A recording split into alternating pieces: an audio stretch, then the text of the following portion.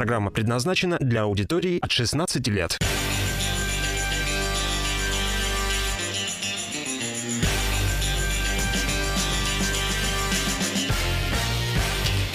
11.06 в Кирове начинается программа «Дневной разворот». Сегодня в студии Владимир Сметанин. И Светлана Занько. Добрый день. Добрый Добрый, день. день. Сегодня среда, 29 марта. Что там за окном пуржит? Я просто спиной сижу. Да, кто-то раздавал обещание, помнится, на позапрошлой неделе. И расхваливал эту погоду. И говорил, посмотрите, какое солнце, посмотрите, весна за окном. Кто это Кто был? это был? Да? Кто это был? Что, сглазил, Володя? Сглазил немножко. Но Сглазил. а, главный синоптик Кировской области, как известно, накануне выступал Марат Френкель, я имею в виду, что он сказал, что не ждите весны раньше середины апреля, Мы по этому поводу Марату Ашеровичу вчера звонили лично. Чтобы он подтвердил. Да. Действительно мы такое сказали? Что же такое-то? Да, он отметил, что первая декада второго весеннего месяца будет холодной, но зато в мае ожидается более высокая температура воздуха, то есть он такой ближе к летнему месяцу Меня будет. больше всего порадовало, что Марат Ашерович нам пообещал лето, как в прошлом году. Вот меня Да, прошлогоднее лето да. полностью устроило. Ну, тут с небольшой оговоркой он сказал, что в июне все-таки дождливая погода как-то в основном будет, а вот в июле наступит лето В настоящее. июне и снег может пойти, ты же знаешь. Может, конечно, это бывало неоднократно, Да. когда уже все расцвело, все распустилось, и тут бац, Ну, снег. мы договорились а, вчера с Маратом Ашеровичем, что он к нам придет а, на следующей неделе и расскажет уже, друзья, про половодье, которое нам предстоит. Ну, уже по предварительным данным, уровень воды ожидается что-то на уровне прошлого года, а в прошлом году ситуация Будет была... сложно. В прошлом году ситуация была такая не слишком радужная. Очень много кто пострадал.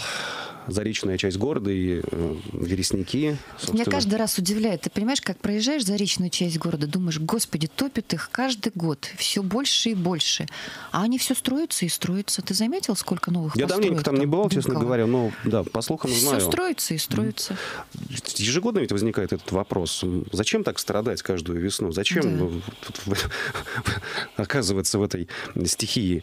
Нет, людям нравится, они привыкли, видимо, уже. Из года в год это повторяется такой экшен. Да. Да. Хорошо. Квест. Давайте возвращаться к нашему дневному развороту. выбраться Немножко о его темах.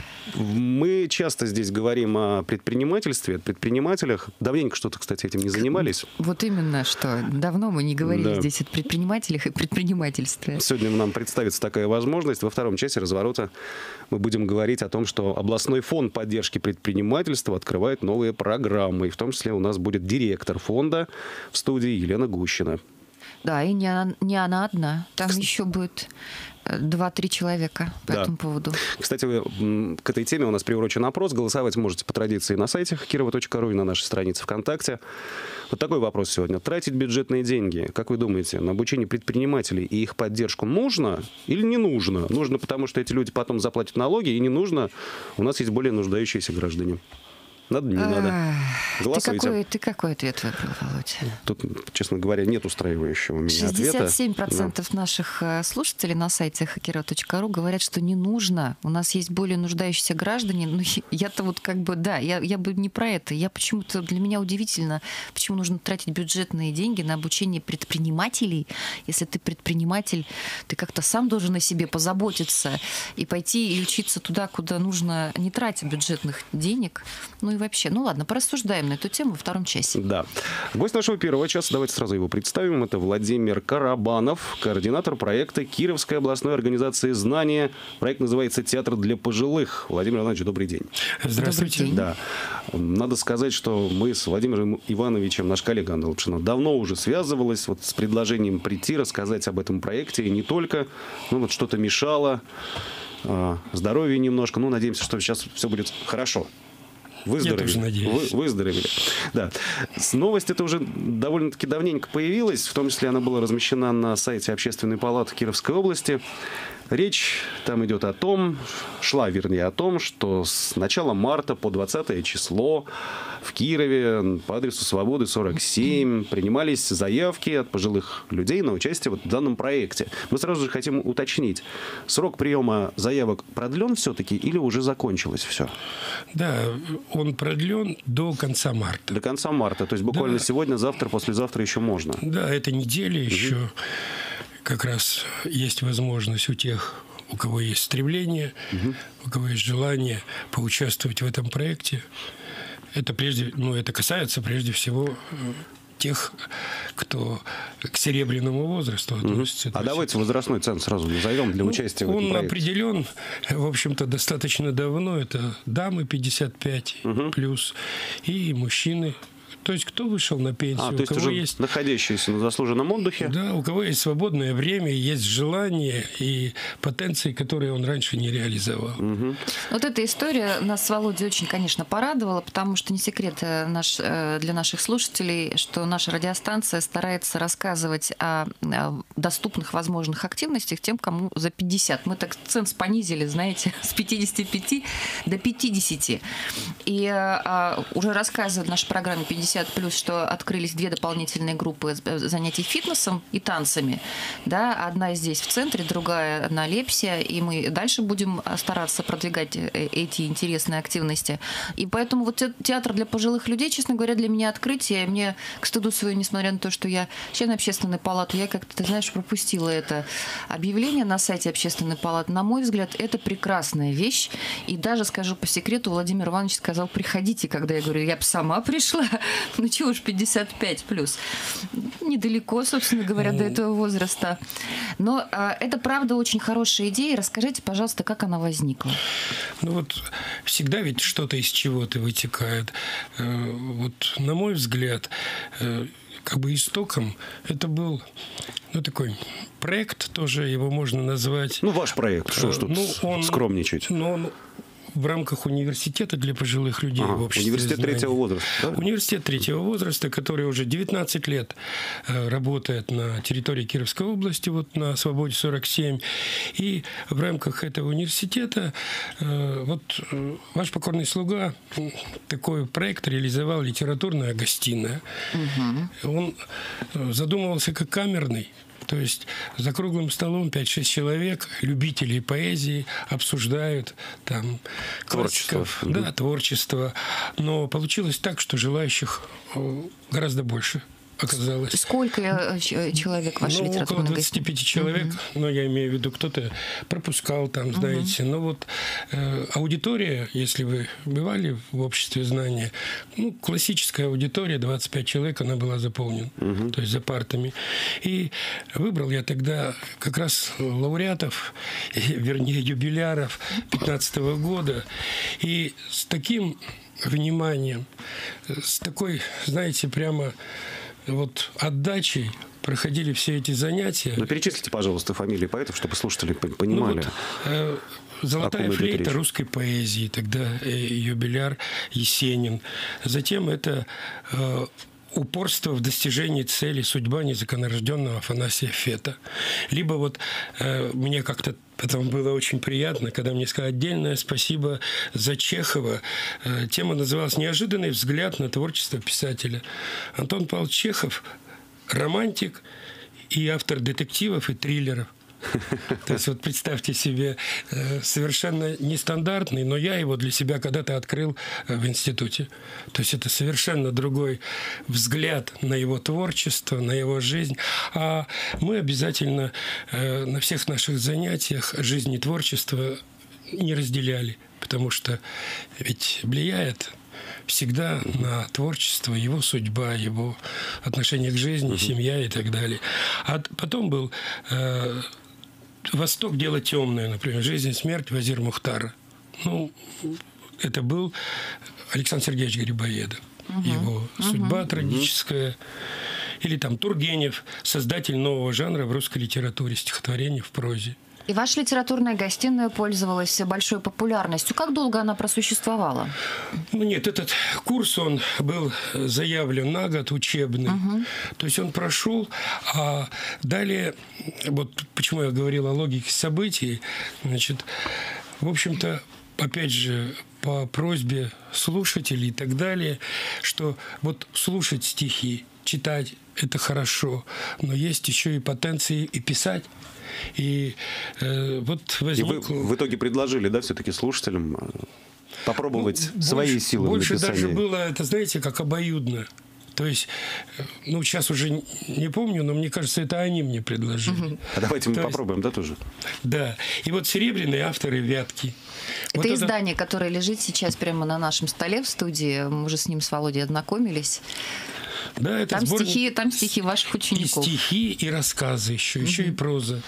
И вот, вот этот проект, он уже был поддержан, мы выиграли э, конкурс, который объявлен был региональным фондом Самарская губерния и поддержан э, Райфайзенбанком. То есть, То ну, есть вы- вот та- таким образом нашли средства для того, чтобы Да, чтобы попросту напечатать, напечатать, конечно. чтобы издать. Мгм. Да, мы сейчас прервемся на одну минуту. У нас перерыв. Через минуту снова в студии с Владимиром, э, с Владимиром э, Карабановым, координатором проекта Кировской областной организации «Знания. Театр для пожилых». Программа предназначена для аудитории от 16 лет. Продолжается программа «Дневной разворот». Здесь в студии Владимир Сметанин и Светлана Занько. Мы беседуем с Владимиром Карабановым, координатором проекта Кировской областной организации знаний «Театром для пожилых людей». Подбираемся тихонечко к театру, подбираемся через литературную а, мастерскую.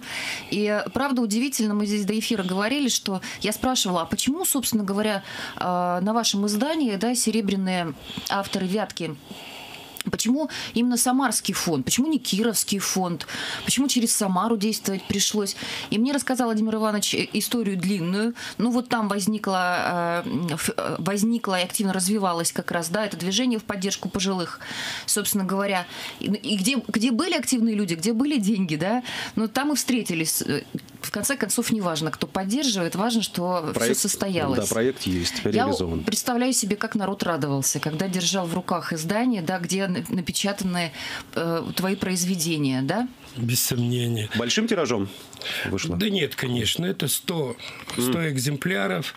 Вот. Но здесь, вот если вы увидели, в чем ценность еще, и тогда была, когда мы создавали этот проект, все иллюстрации, они великолепные. Это э, тоже создание серебряных авторов, тоже в рамках э, университета э, третьего возраста, э, их рисунки.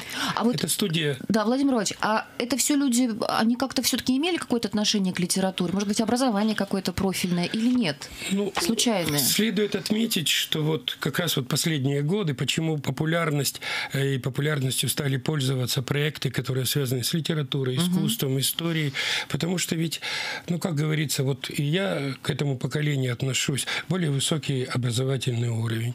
Поэтому желание вот реализовать себя через поэзию, через прозу, потому что здесь мы как раз, как это, пошли и дальше. То есть, кроме стихов, еще и эссе, э, рассказы коротенькие. То есть, и вот профессиональные э, авторы, э, члены Союза писателей России э, Светлана Сырнева и Елена Наумова нам ну, вообще помогли великолепно. Это были мастер-классы и так далее. И вот э, мне, как ну, организатору, может быть, даже в начале, ну, конечно, верил я, что вот выйдет сборник, что сможем мы.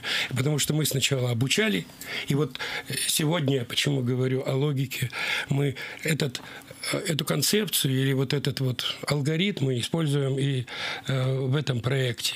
То Театр есть- для пожилых. да, да. И, э, в общем-то, с таким удовольствием, вот то, что вы сказали, держали вот эту вот э, яркую, очень такую добрую Ну, Вот эту видимо, видимо, книга разошлась по участникам, да? Вот того- Конечно, той она по самой литературной участникам гостиной. разошлась. Ну, были гости там. В Там качестве- в серьезная программа на подарка, самом да. деле. Вот мы посмотрели, да, эта книга «Серебряные авторы Вятки», она содержит программу литературной мастерской, а, серьезные занятия, каждый день по несколько часов, да, 40 часов всего она составляет. И а, я думаю, что, конечно же, конечно же, г- человеку, у которого есть творческий потенциал, для него это просто вот, да, источник, с которого наконец-то возможность была напиться. Давайте перейдем к театру для пожилых. Это ведь история была, с- еще раз, с литературной мастерской 15 года. 14 Да, это, 15 э, нет, это 15 и 16. 15-16 Да, год. да, да. И вот 17 год вы решили заняться театром и объявили набор. Напоминаем, что еще он продолжается. Можно позвонить по телефону Еще два 65 дня, да. 40 47, 65 40 47 или 38 12 07 и записаться в группу. Сейчас уже много человек э, записалось? Ну, сейчас Сейчас вот э, я сегодня разговаривал с председателем э, правления, около 20 человек. Уже, около 20 Да, уже. человек. Это не Ну, маленькая Ну, лимит какой-то есть у вас? Сколько максимум ну, можете? у нас, э, как и в любом проекте, где обозначены параметры, то там у нас, значит, заявлено, первоначально было до 25 человек. А, ну то есть еще пять человек точно могут попасть. То есть, ну, если да. позвонят, если обратятся к вам. Да, конечно. И мы будем работать с ними. А вот э, то, что опять возвращаясь к серебряным авторам, мы здесь снова повторим, вот, ну так в голове вот этот алгоритм сложился, два семестра. То есть, если, здесь тогда мы в литературе определились с авторами, с которыми работаем, и давали на лето задание, и они очень серьезно, все наши участники проекта подошли, и осенью мы уже встретились, уже, знаете, э, так, готовыми к профессиональному разговору, к более предметному выбору авторов, э, к работе над стихами и так далее. И мастер-классы уже проводились э, очень, ну, как скажем, интересно и ну не пауз ничего не было вот точно так же и В здесь слушатели, сейчас- слушатели не халявили, в общем. Нет, вот, вот раз- то- раз- развивались. попали, Раз- Владимир, развивались, да. А и здесь мы сейчас также хотим, то есть вот проект рассчитан на 8 месяцев, ну то есть финансирование и так далее, то есть его можно, значит, растянуть на 8. Мы точно так же, как и здесь, сегодня, вот весной, сейчас, до периодов садоводства, э, сами знаете, наше Конечно. поколение, значит, Как Потом будет трудно будет замечательно собрать, на, да. на грядках репетировать Отелло, например. Да, да. а- Да? Нет, а тут я, я нисколько без иронии. Я то тоже. Есть мы определимся, вот немножечко дадим теории, то есть история, например, театра, вообще сценическая речь. А дальше, э, значит, выберем репертуар. Самое это главное. Вот, ну, мне представляется, но мы это еще будем все обсуждать, что это что-то, ну, не трудное, не тяжелое. Там не будем мы замахиваться на нашего, э, значит, товарища Шекспира. Вот. А я вот себе представляю, например, водевель, ну, что-то легкое.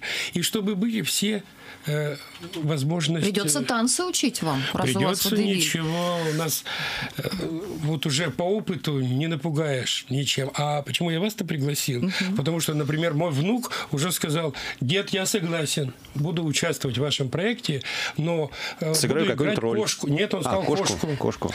Поэтому я уже сразу задумался, надо будет искать репертуар, чтобы... А сколько внуку лет? Семь лет. Прекрасно. Самый возраст кошку играть, да. да. Кто будет заниматься непосредственно с теми, кто придет? Ну вот Уже э, пришел. По концепции, значит, и так же, как по э, литературному проекту, это э, ну, профессиональный режиссер. Кто? Сегодня я сейчас вам не назову, потому что тот, с кем мы предварительно договорились, и это было бы все хорошо. Э, К сожалению, тут как форс-мажор, знаете, бывают семейные обстоятельства. Вот мне, например, приходится ухаживать, ну, не- может, не то слово, за 90-летней мамой. Вот точно так же и у нее случилось. И Ну, это, поэтому- Кир, это Ки- Ки- Ки- кировский, режиссер, Кировская, кировский это- это Подыскиваете сейчас, э, подыскиваете сотрудников? Сейчас есть, да, у нас уже кандидатуры, мы ведем переговоры. Это действующие Но- режиссеры? Это действующие. Которые работают в наших это, театрах, да? Это действующие, да. Ну, это не обязательно в профессиональном вот этом нашем, в театре драмы, это, ну, У площадка. нас есть народный театр. Конечно, конечно. И э, еще у меня, значит, ну вот это, я, может, немножко опережаю события, но мы уже ведем переговоры, и, значит, если это получится, это будет прекрасно. Это театр э, экспериментальный, или как называется он, э, в колледже культуры. Мы не Культура знакомы. является пла- а вот я с ними... не знакомы А пока. у нас есть культпоход, мы как-нибудь пригласим. Вот. Да, да. действительно. Театр колледжа культуры. Их выпускники режиссерские вообще, то есть специальность, они э, ставят спектакли в качестве дипломной работы. Так вот, мне представляется, что это будет предложение от нас, которое вряд ли они от него откажутся. То есть, например, э, кто-то из выпускников поможет нам вот поставить этот спектакль, с которым потом мы будем выступать. Вот, э, кстати, это тоже не ирония. Нас уже пригласили э, в Санкт-Петербург выступить со спектаклем в доме престарелых в Питере. Пока еще, пока еще работа нет, не начата, а вас уже но, приглашают. Ну, просто информацию давали в этом. То вы ставите задачу все-таки подготовить постановку осенью, да, к Дню пожилого человека, Да, День да. пожилого человека 1 октября. 1 октября, да. да. Ну, мы не к первому октября, а в течение октября. Чтобы мы могли, э, если все у нас, опять же, оговорюсь, если все получится, значит, именно, например, там, в Кировском доме-интернате, еще где-то, э, значит, показать. А площадка-то непосредственно, где будете заниматься? Для, собственно, практики-то нужно пространство. Ну, чтобы все вы эти па знаете, как это говорят, ну, не знаю, подходит или нет, значит, нет гербовой, пишите на простой. Или там, русский человек, ведь он очень Находчивый. Так, находчивый, да. Там сразу или на безрыбье. Э, Мы, э, потому что мини какие-то уже вещи делали на, у себя на Свободе На Свободе, 47. Там есть небольшая очень эстрада и так далее. Вот. Так что я думаю, что это не будет препятствием. Там, если потребуется потом где-то нам, значит, просто, может быть, премьерный, ну, в- лучшем варианте. А так мы и там сыграем. Мгм. Что-то мне подсказывает, что в э, этот проект те- театр для пожилых пришли люди, которые участвовали как раз-таки в литературной гостиной. Есть? Ну, я думаю, Есть что же? будут. Да? Да, А, будут? среди них нет. Я не проверял еще список, я имею в виду э, тех, кто заявлен. Но это люди, как раз, которые уже вот имели желание, почему я говорил о продолжении, о логике-то, и говорили, Владимир Иванович, а давайте мы попробуем. Да, Владимир Иванович Карабанов у нас в студии, координатор проекта «Театр для пожилых». И я просто хочу еще раз напомнить телефоны 65 40 47, 65 40 47 и 38 12 07. У вас еще есть возможность, слушатели, позвонить и записаться в театр для пожилых, потому что, ну, поставить водевиль к октябрю месяцу, п- получить там роль, отыграть на сцене, мне кажется, это прекрасно, конечно. Владимир Иванович, а скажите, пожалуйста, возраст. Вот, э, а вы еще не знакомились со списком. Да. Я, я хотел Ты просто хотел, узнать, сколько максимум там может быть по, Это мы возрасту. узнаем в да. ближайшее время Да. уже, в апреле месяце будет известно. Да, мы это Да. вам Да. Это, это- Ну и информация у нас э, будет выкладываться на сайте общества знания. И, э, в общем-то, так вот и с предыдущими проектами были. То есть мы все время, э, как это сказать-то, э, отслеживаем, что у нас там происходит и, и как это все происходит. А А скажите, пожалуйста, Владимир Иванович, вот вы давно ведь уже в обществе знаний, скажите, вот э, как сейчас с активностью пожилых людей? Она там возрастает, она падает, э, э, и- и- или вообще нет никаких изм- изменений, все ровно? Просто интересно, чем занимаются люди. Вот они- больше стало тех, кто оторвался от телевизора и сериалов телевизионных, или нет? Да, я уверен, что больше. Э, Вот не случайно о тех проектах, которые я уже говорил, но, э, значит, и, и не только здесь. Вот мне приходилось по э, работе по Самарскому этому проекту и, и в Москве встречаться и так далее, территории, потому что вот именно в этот, значит, как это, пул, да, называют, о, более 20 территорий России входило. И, значит, а вот если по-нашему, по, по своему, то я, наверное, привел бы один пример.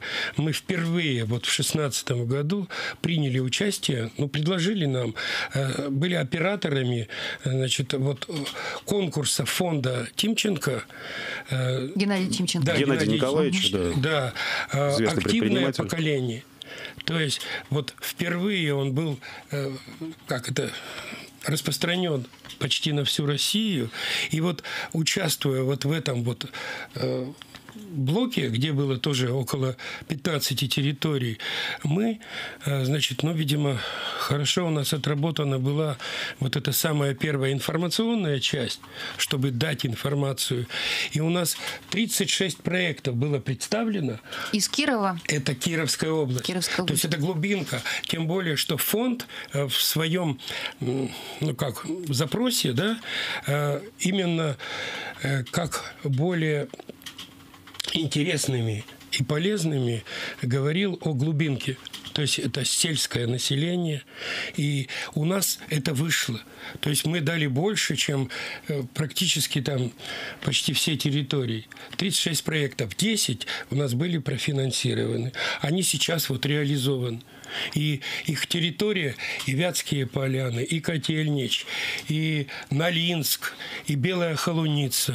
То есть... Мы сейчас поподробнее об этом поговорим. Просто интересно, какие э, проекты предлагают для пожилых людей э, вообще по всей Кировской области. Но через две минутки у нас реклама. Программа предназначена для аудитории от 16 лет.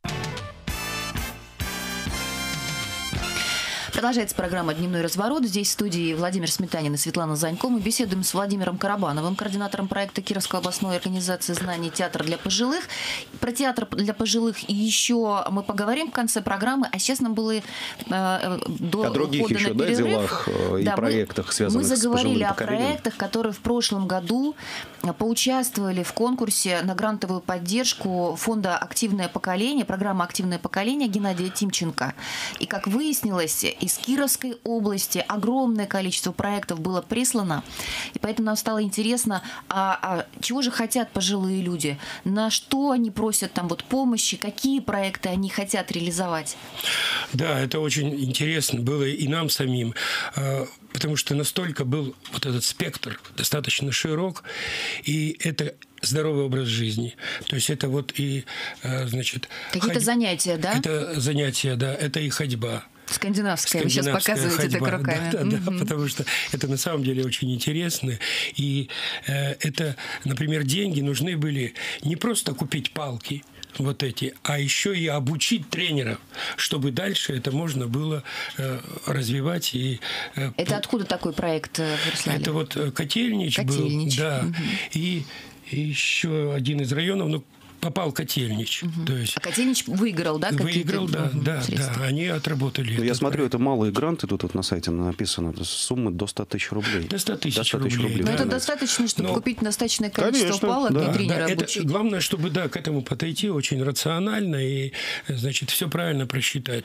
Э, Затем это были э, программы, связанные вот с, прежде всего, как это сказать-то, чтобы силами, и в этом был один, опять же, из посылов вот этого конкурса, чтобы не просто для них вот купили и сделали, то есть для активного, а чтобы активное поколение участвовало в этом сами.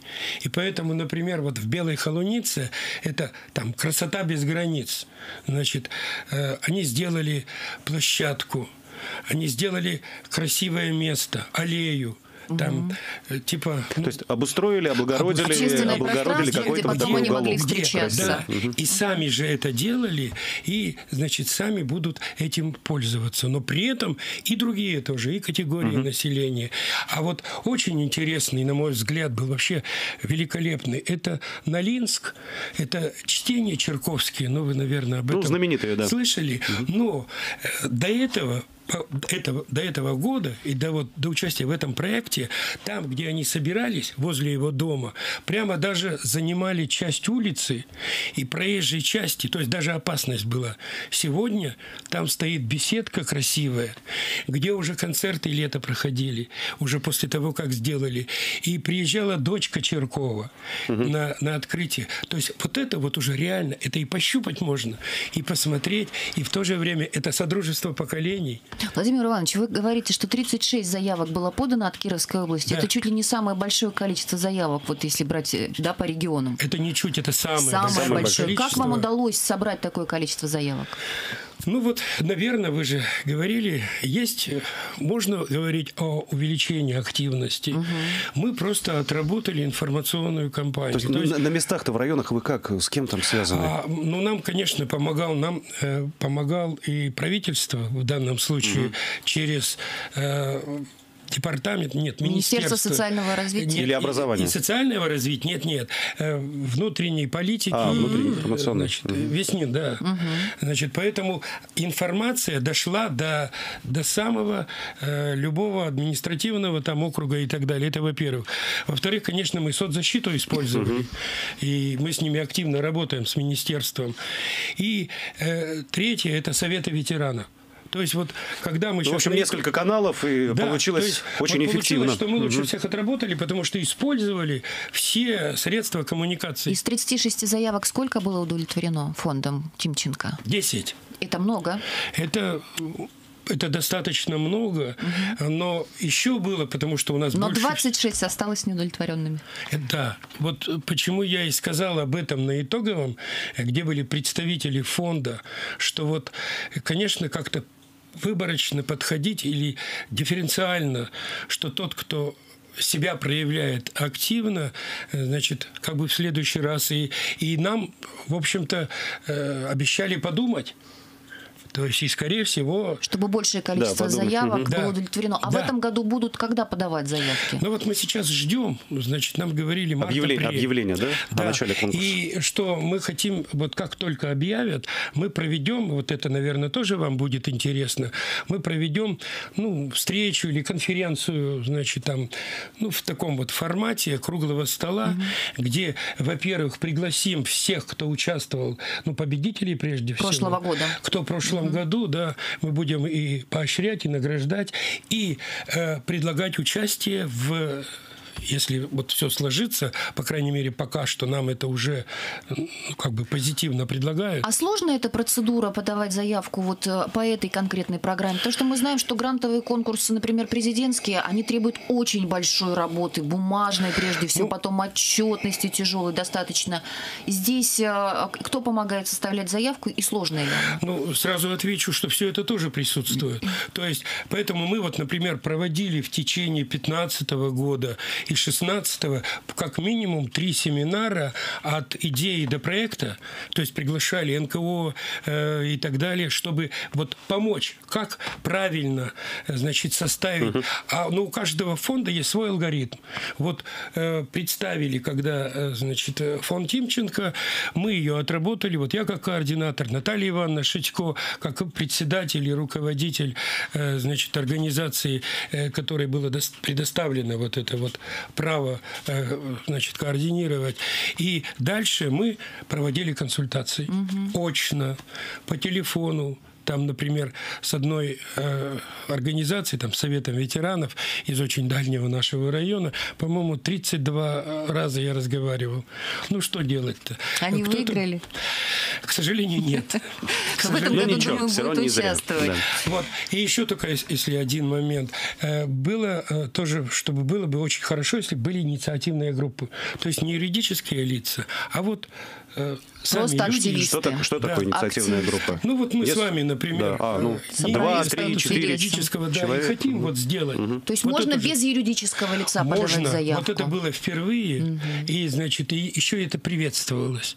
И поэтому у нас было при заявках 11 инициативных групп. Вот. И из них, э, значит, три, три, по крайней мере, значит, стали победителями. Вот э, чтобы сейчас завершить эту тему с э, конкурсами, э, э, с, программой «Активное поколение», я скажу, что только что по Волжье впервые участвовала в, этом, в этой программе в прошлом году, потому что с 2011 года она реализовывалась только в Северо-Западном федеральном округе.